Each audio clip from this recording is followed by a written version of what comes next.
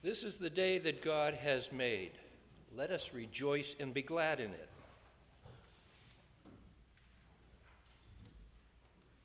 And for me, a gentle reminder wherever your life's journey takes you, you will always have a home here with us. For those of you joining us uh, via live stream and computer, don't touch that dial. There's nothing wrong with your screen. I may be good looking, but I am not Campbell Lovett. but rather, I'm Ted Tunnicliffe, and I'm sharing the greeting and announcements today. Announcers, uh, I invite you to gather here in the front pews as I share some thoughts and do some housekeeping. I want to welcome everyone to worship at the Congregational Church of Laconia, where ha we have been receiving sustenance for service since 1824. A special welcome to those worshiping via live stream. I hope that you will introduce yourselves to one another in the chat and share any prayer requests with our online greeter, Martha Clement. Uh, would the search committee come up and join me here, please, in the chancel area?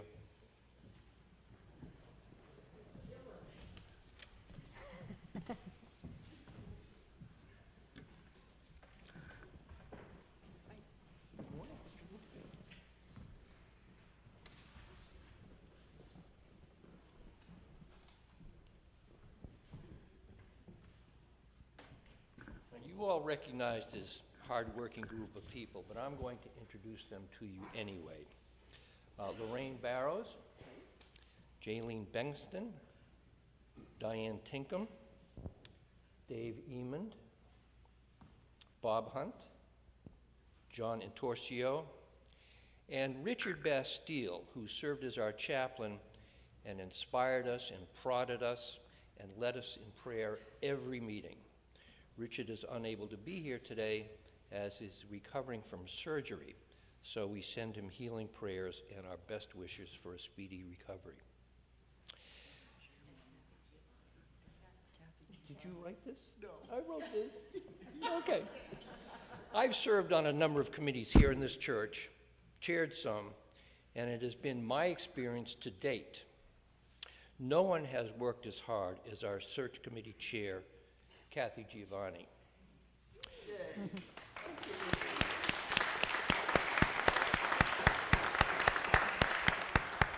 I believe we elected her chairperson at our first meeting where she was not present. Serves her right. But she graciously accepted and for the past year has provided the guidance and direction needed by our committee. So we as a team and we as a church thank you, Kathy Giovanni.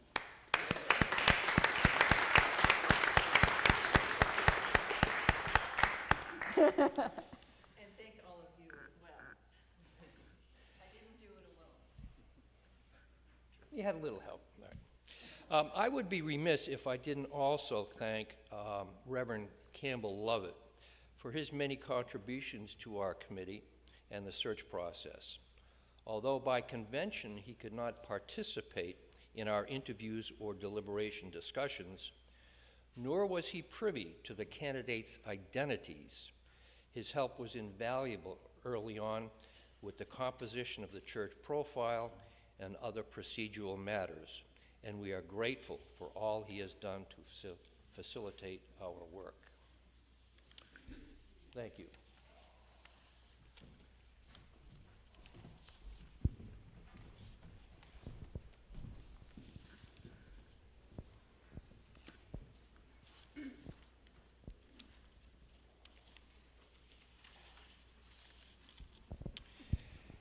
And that work to which I just referred has produced what we hope to be the next settled pastor of our church.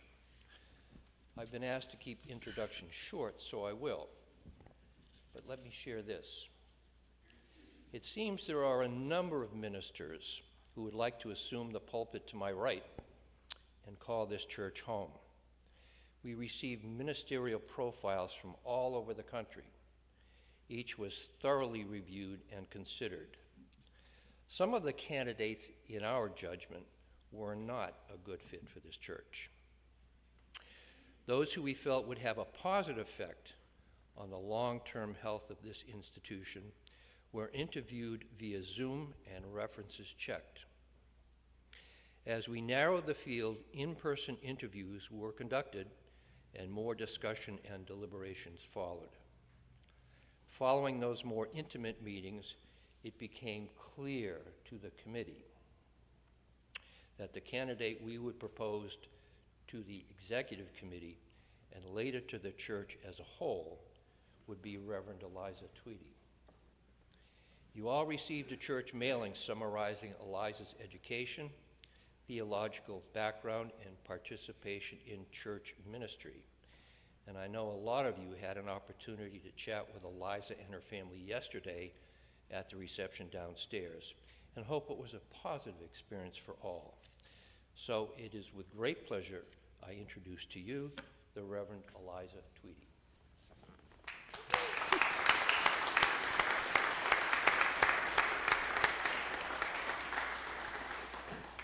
Eliza has brought her familial support team with her, and I'm pleased to introduce her wife, Beatrice. and, their, and their boys, Asa and Eli.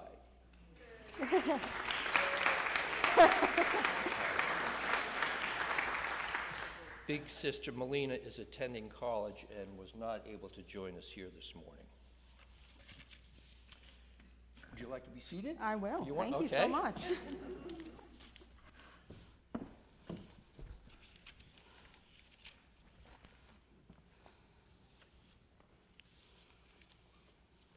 Uh, some sad news to share with you this morning. Uh, Jack Weeks has died. Jack Weeks may be known to all of, well, all you old timers um, as the proprietor of Weeks Dairy here in Laconia in Concord. Uh, he died on his birthday on Thursday, December 7th. And services for Jack are going to be here at the church on Saturday, December 16th.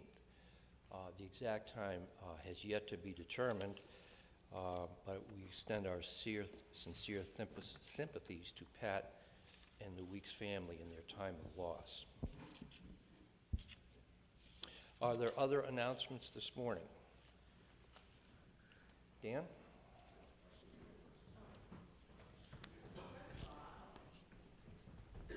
First of all, a pastor wearing high-heeled, sparkly shoes. I mean, come on, this is, this is very exciting.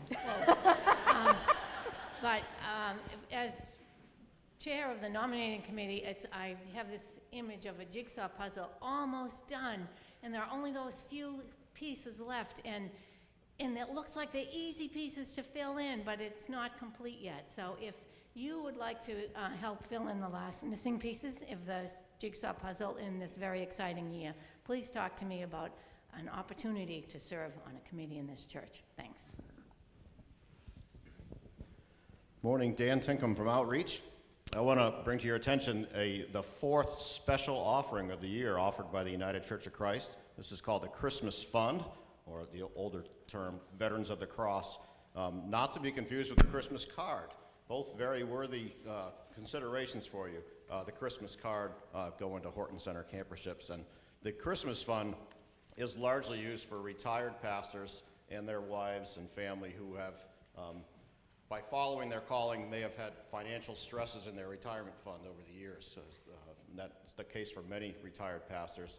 Um, this fund helps just keep in touch with the retired pastors of the UCC and uh, give them a small gift at times or uh, help them in uh, emergency times when medical bills or whatever uh, become too much.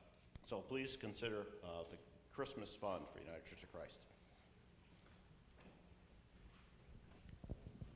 Hi, I'm Don Dupack, and I have an opportunity, another opportunity.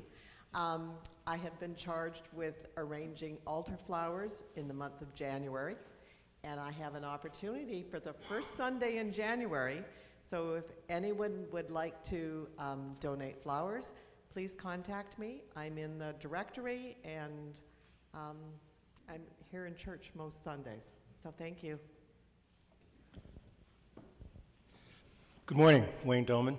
Uh, this is just a, uh, a technical reminder in an attempt to get as many of our membership involved in the special congregational meeting. I just want them, if any of you go home, but rather that you stay. But there, the Zoom link for the meeting is in only one place, and that is in the news blast that came out to all of us on Friday. And then there is a passcode. So, just for those folks who uh, are on a different platform right now watching this meeting, those members will then have to switch over and come zooming into our congregational meeting, which will begin at 10:45. That way, they can participate and they can vote. Thank you. Good morning, my name's Don Clark, and um, I'm letting people know that if they wanted to make a donation to the church Christmas card, uh, there's a tree in the foyer there that you can uh, put a bulb the, on the tree and make a monetary donation, to, and the proceeds of the church Christmas card go to Horton Center uh, attendees for the summer season. So I'll be out there after church today.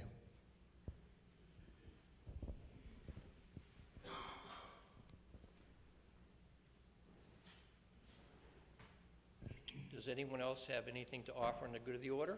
We all set? Uh, As Wayne indicated uh, just a moment ago, a special meeting of the congregation will be held following the worship service this morning. We're looking forward to a positive result and to formally call Eliza as the next pastor and teacher of this church. You will see several announcements printed in your bulletin. I commend to all the Christmas updates about poinsettias, caroling, offerings, and Christmas Eve. Let us now begin the candle lighting liturgy. Diane, Jaylene?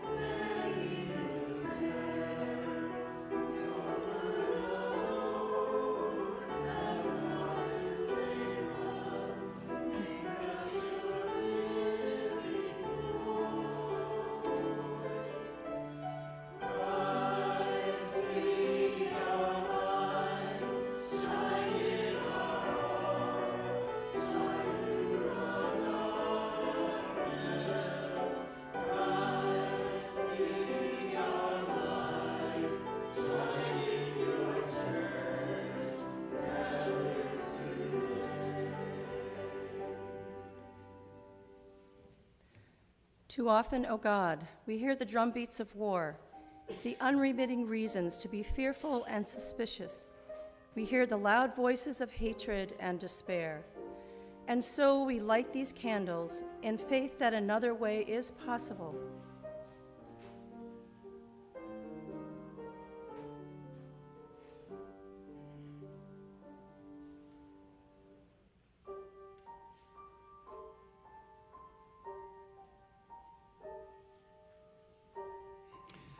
Open our hearts, we pray, that we may hear the calm reassurance of the peacemakers. Open our hearts to the words and deeds of grace until we can respond in compassion when faced with hate, until we can respond in peaceful justice when faced with violence, until we can respond with calm faith in you when faced with the relentlessness calls of fear. Make us instruments of your peace, O holy God, who made all humanity in your own image.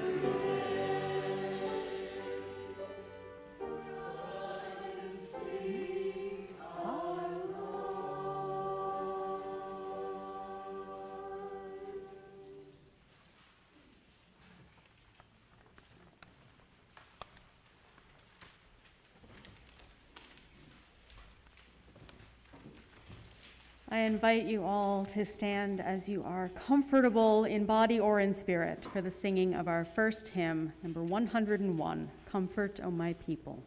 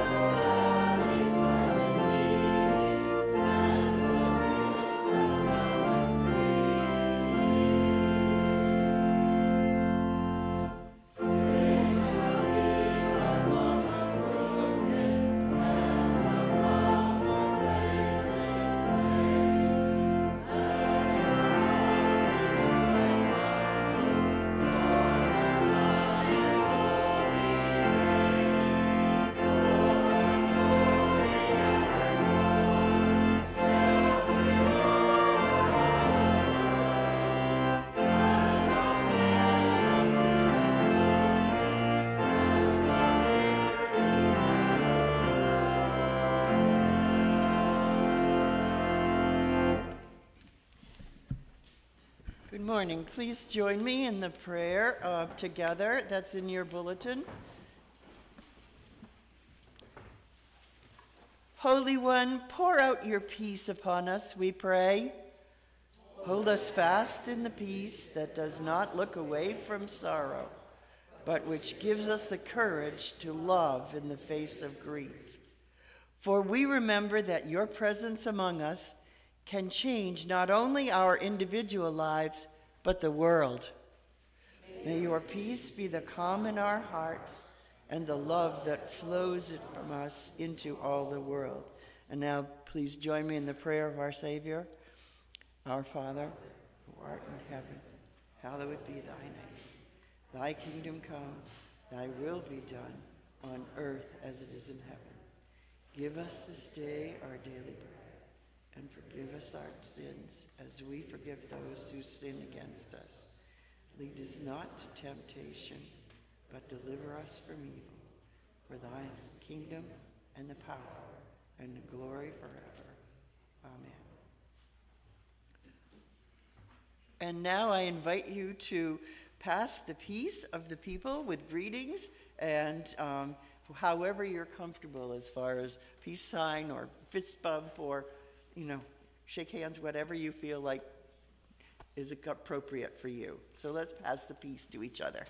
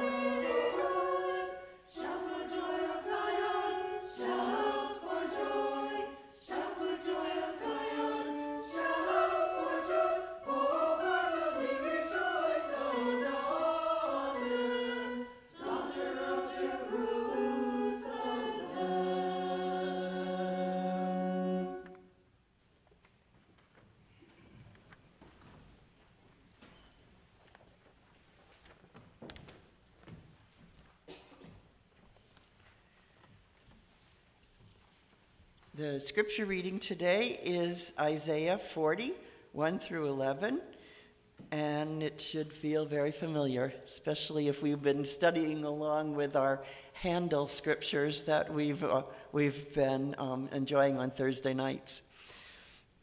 Comfort, O comfort my people, says your God. Speak tenderly to Jerusalem and cry to her that she has served her term and her penalty is paid, that she has received from the Lord's hand double for all of her sins. A voice cries out in the wilderness, Prepare ye the way of the Lord. Make straight in the desert a highway for our God. Every valley shall be lifted up, and every mountain and hill made low. The uneven ground shall become level, and the rough places a plain. Then the glory of the Lord shall be revealed, and all the people shall see it together, for the mouth of the Lord has spoken. A voice says, Cry out. And I say, What shall I cry? All people are grass.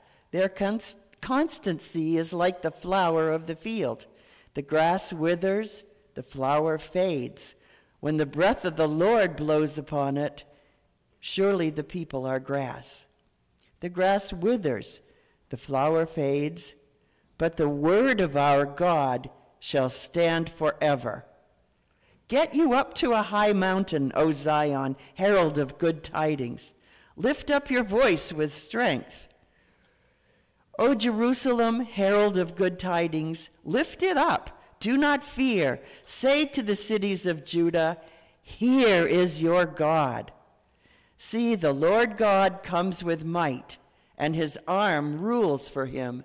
His reward is with him, and his recompense before him.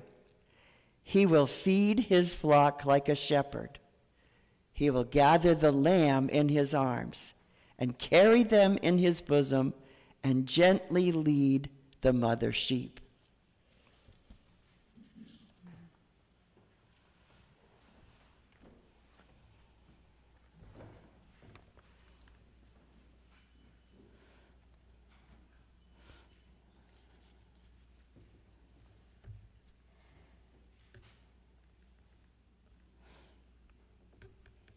Will you join with me, please, in a moment of prayer?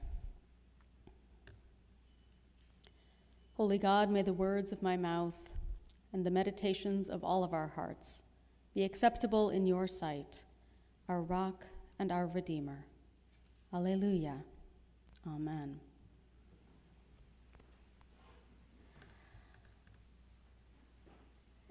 Today we light the second of our Advent candles, well, it didn't seem to want to light terribly well. And in the grand scheme of things, two little sparks of light don't seem to do a whole lot. I think if we were to turn off the rest of the lights in here, it wouldn't allow you to read your bulletins, for example. One spark feels appropriate for last week's hope, that one tenacious little flame that holds on despite everything. But for the next step to be peace, well, uh, feels like a little bit of a leap, doesn't it? That's not the obvious next step. What even is peace? There's a hard one. The other candles of Advent hope and joy and love, I think we have more general experience at those, don't we? But what about peace? What would it look like? What would it feel like to live in peace? Is it to turn on the news and see no stories of war or violence? Is it the times when we can set aside the world for a little bit? Is it skating on a pond in the still silence of winter or sitting by a fire all cozy and warm? In those moments when you feel like nothing else can touch you. Often conversations around peace are abstract, it being one of those things that most of us haven't really lived. Peace is a concept It's a lack of something that we know all too well, especially in these days. Or it's something very individual, very local. It's about feeling ease in our own hearts, that sense of being able to relax, feeling safe and comfortable within our own lives. This time of year, I tend to reread or rewatch A Christmas Carol. I'm, I'm not the only one, right? Christmas Carol? Yes? Okay, cool, cool. We can debate our favorites downstairs. And I will watch any of them, honestly. There's just something hopeful about watching a hardened, bitter person be broken all the way open and begin to shift his life toward justice and love. But I always wonder, as I finish the book or as I turn off the movie, about that happy ending. I wonder what happens after Christmas Day, where Scrooge sent a turkey off to the Cratchits, where he greeted all his neighbors with good humor, made a donation to charity for the first time possibly in his life, and accepted his nephew's invitation to dinner. I wonder about the happy ending after the Boxing Day, where he made Bob Cratchit think he would be fired, only to turn it around and surprise him with kindness and a substantial raise. No wonder. Because as much as we love stories like this one, where a person can be changed in one day and they all live happily ever after, reality tends to be a bit more complicated. And I wonder if the peace that Scrooge discovered, that shift in his heart from the personal security of wealth to the grace and mercy that eased the way for all around him, I wonder if that felt comfortable to him in those first weeks. Indeed, I wonder how much ease any of them felt around him for a long while after that Christmas day, as they all of them learned to live in the true peace that is bigger any one of us. It is a particularly poignant story when read in conjunction with today's passage in Isaiah. And this is the, the, pastor and teacher part of it. This is the teacher hat on. Here in chapter 40, we are at a huge turning point in this prophetic work. It's the longest book of the Bible. Up to now, the first 39 chapters have laid out some pretty hellfire and brimstone passages. Some of my favorites in the Bible, frankly, they're really pretty great. This is a story of a people who are so sure of their position as God's chosen ones that they have become arrogant. They see God's love and grace as a get out of jail free card, forgiveness for all their sins without having to do any of the work of loving their neighbors or being accountable for their harmful actions. The first entire third and more of Isaiah is the story of the prophet trying to call the people, especially the comfortable people, the well fed, well housed, powerful people, back into a covenant that tends not to anyone's individual ease or security, but to the health and well being of an entire community. That acknowledges the particular plights of the most vulnerable and the calls to the people to prioritize community care before self care. Spoilers, it ends badly. the leadership of Israel and Judah put more faith in their own political machinations. They see their own power and security as signs of God's blessing, and so they get their itty bitty kingdoms involved in the affairs of the gigantically huge empires that are all around them, and the inevitable happens. They get swallowed up, invaded, and occupied twice. No wonder Isaiah uses colorful language all the way through. But then you get to chapter 40. There's a gap between the end of 39 and the beginning of 40. It doesn't, you don't notice it in the Bible, obviously, page turn. But chapter 40 begins as the era of occupation and eventual exile comes to an end. They didn't write that chunk of Isaiah while they were in exile, obviously, but they picked it back up. As the formerly arrogant leadership begin to pick up the pieces of their shattered individualism. And according to the prophet, the very first thing they hear is comfort.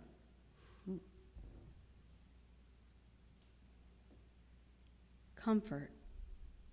The way back will be made straight, the rough places plain, as they return to the places where they once ruled and where their families held such power.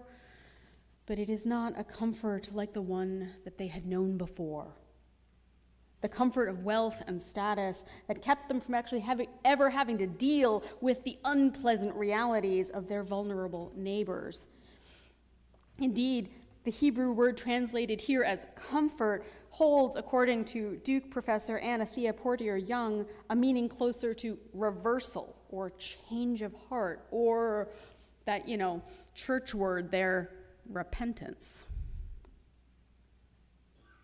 Comfort, my people, says God through Isaiah, to the ancients and to us.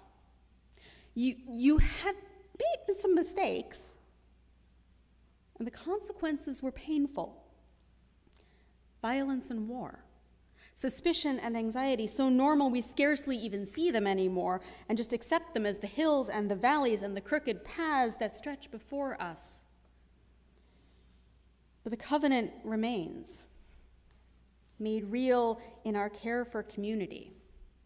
The chance for peace remains the true peace, which is not the individual avoidance of violence by deterrence and isolation, but is the nurturing of communities such that violence and fear and anger fade in the presence of love and understanding.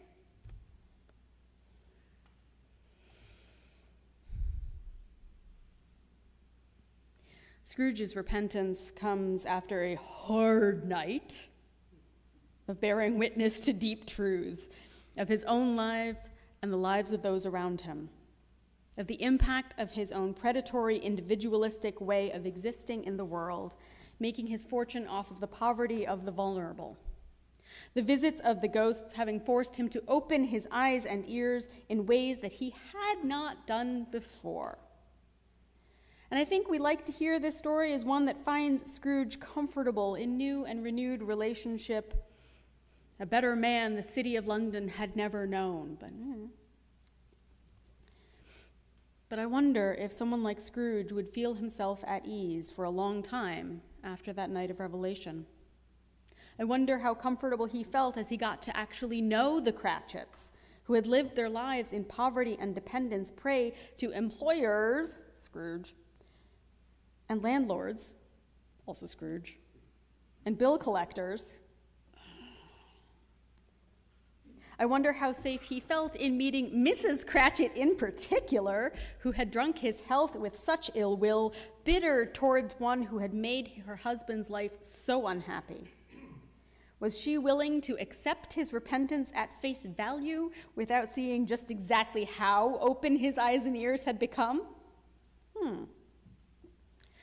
I wonder how comfortable he felt faced with those whose mortgages he held faced with those whose eviction notices he had signed, faced with all of those who had been hurt by him as his years and his years of predatory living.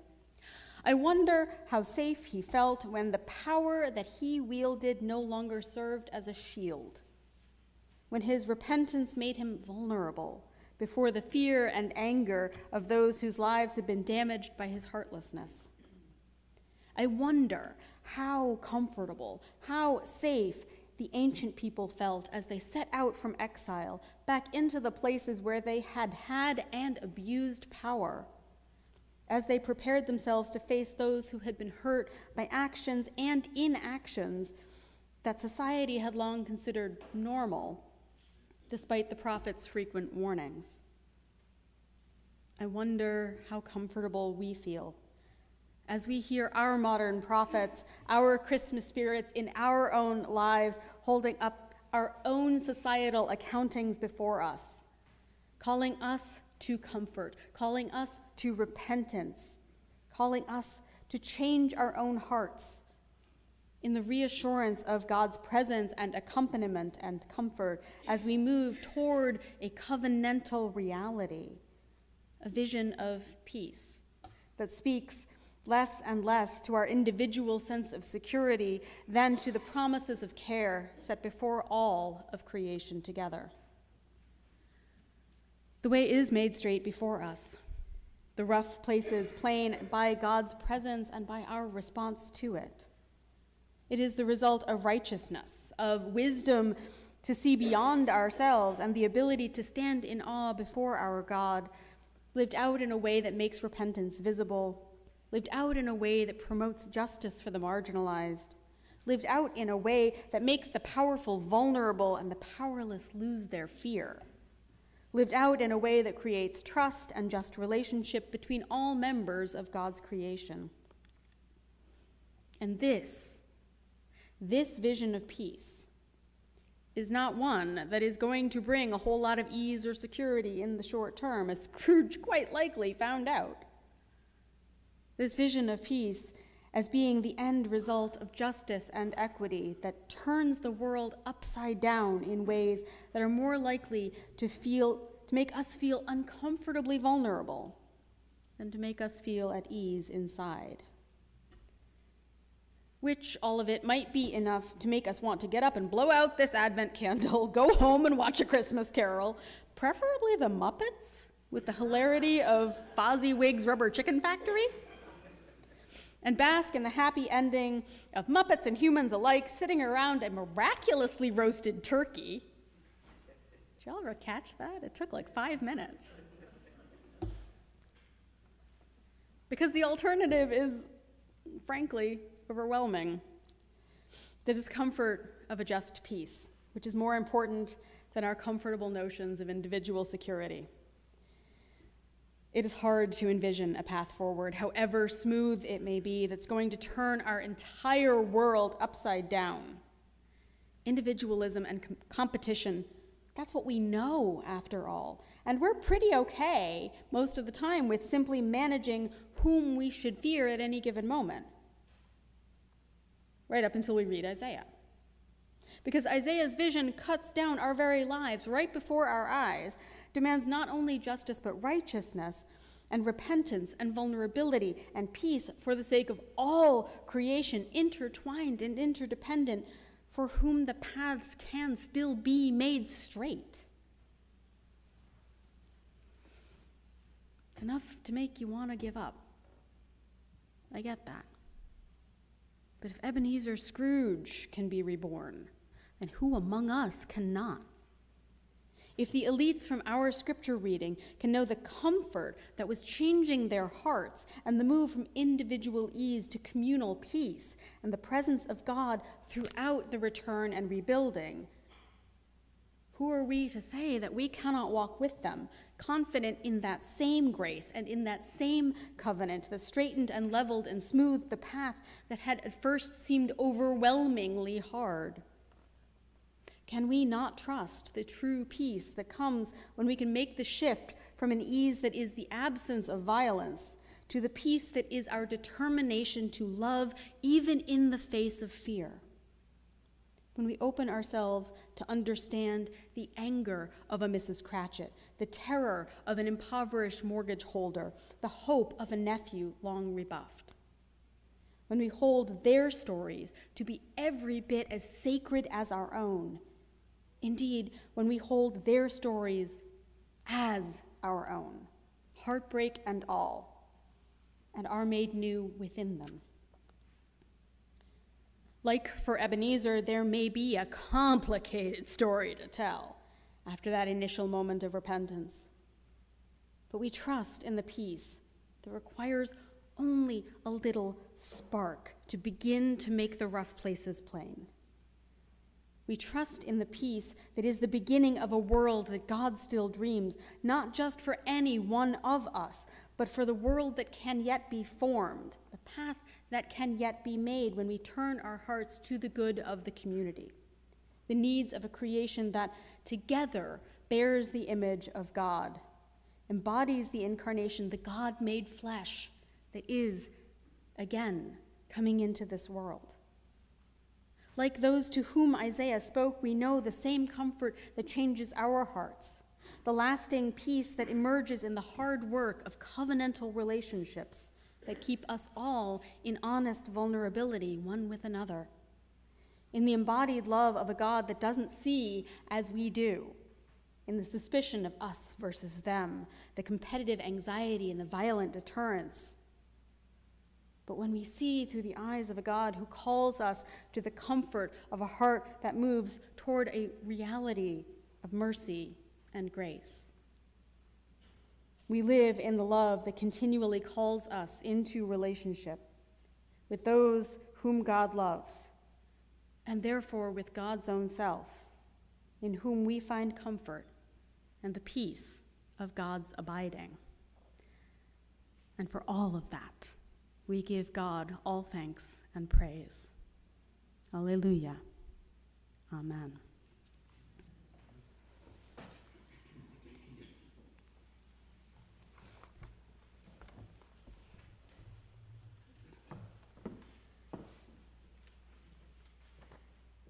I am sure there are some prayer requests coming in from those who are, who are joining online this morning, and I am so grateful for those. But I would like to offer up to see if there are any prayer requests. Thank you so much. Any prayer requests in the room as well? There are uh, Dave and Bob who have microphones. And our online prayer this morning is for Linda, who is battling kidney cancer. God, in your mercy, hear our prayer. Yes, please. I thank you very much for prayers for my son Daniel. Um, he continues to improve. Um, I also ask for continued prayers for my sister in law Donna, who has um cancer and it is spreading, and she is looking for a miracle, as am I. Thank you very much. Holy God, in your mercy.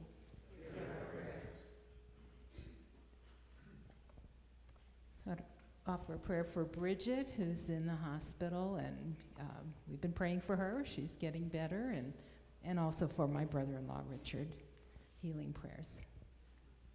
Holy God, in your mercy.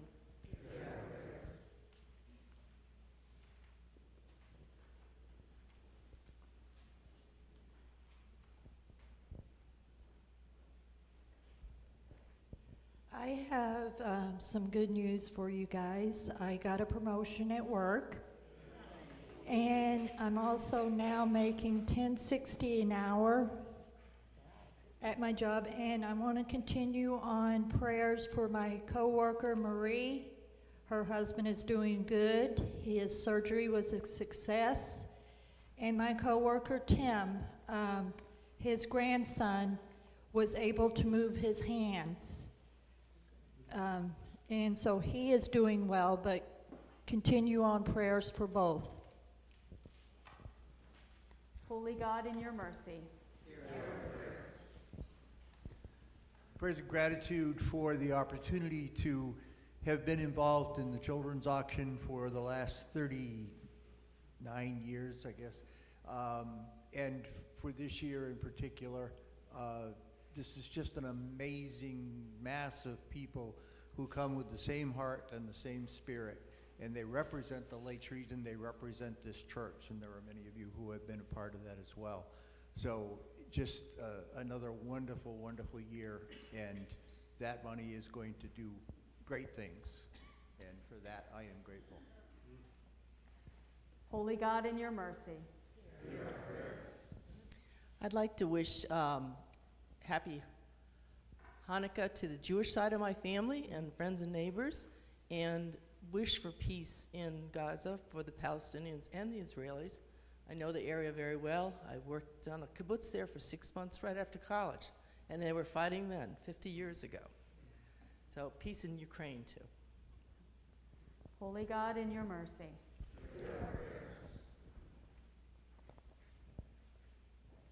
I'd like to ask, is it on? Hmm? I'd like to ask for prayers, peace, and hope for all people suffering with mental issues during this holiday time. Holy God, in your mercy.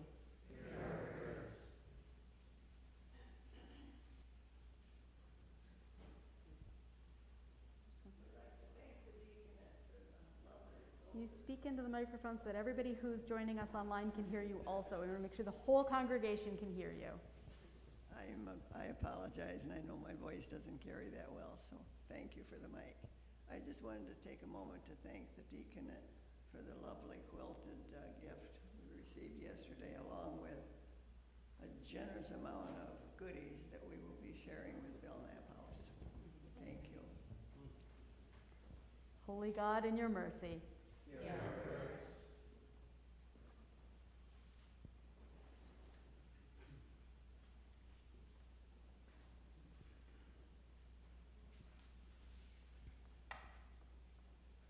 Let us take all that has been spoken and all that remains upon our hearts and lift it up to God. Holy One, we thank you for the ability to bring before you all that is upon our hearts. For those who are struggling, for those who are suffering, we hold their stories as our own. For those who rejoice this day, for those who have borne witness to miracles, we hold their joy as our own. For by our prayers we are united in one body in Christ Jesus. We make real again the incarnation that is coming into this world, that was and is and is to come. And we give thanks to you for your constant abiding, for your holy accompaniment and your presence throughout all of the ups and downs, joys and concerns, the many faceted prayers of our lives.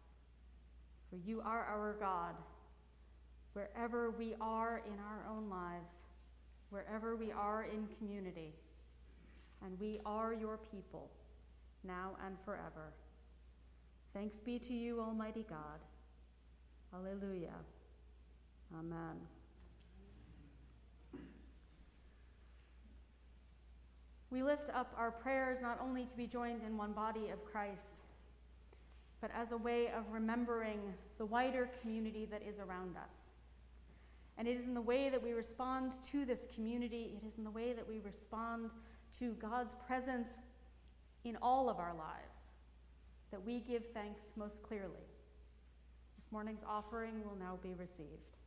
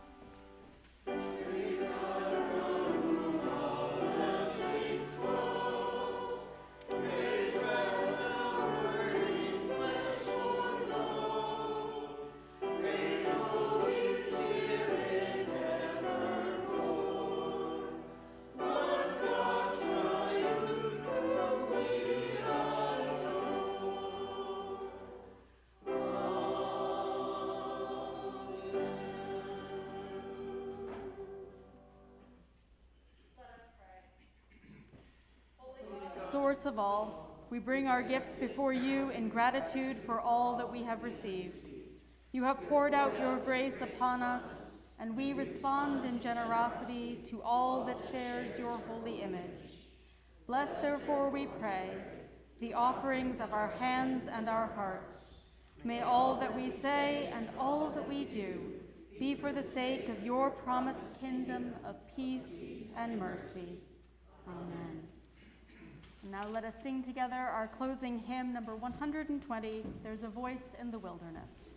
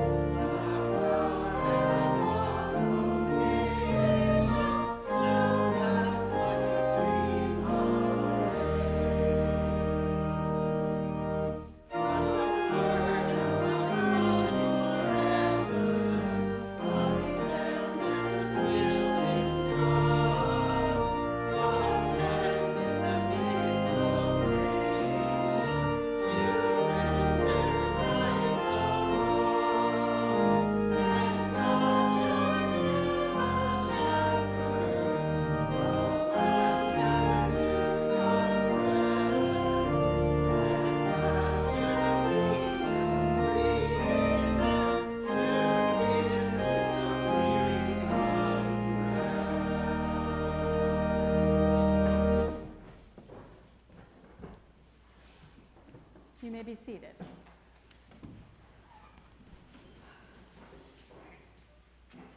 I always feel a little awkward doing a benediction when there's a meeting that's going to go on ahead, although I won't be at that, obviously, um, because the meeting itself continues our acknowledgement of God's presence among us. So I leave you with this Peace is a difficult concept, but we find it when we gather in places like this. We find it within our own hearts and with the gathered body. So many varied people from so many different places gathered to be one church together. So go out into this world, go on into this meeting, assured of God's presence where two or more are gathered, and knowing that the peace of Christ is there as well. May the peace of our Lord Jesus Christ and the love of God and the communion of the Holy Spirit be with you this day and always. Hallelujah. Amen.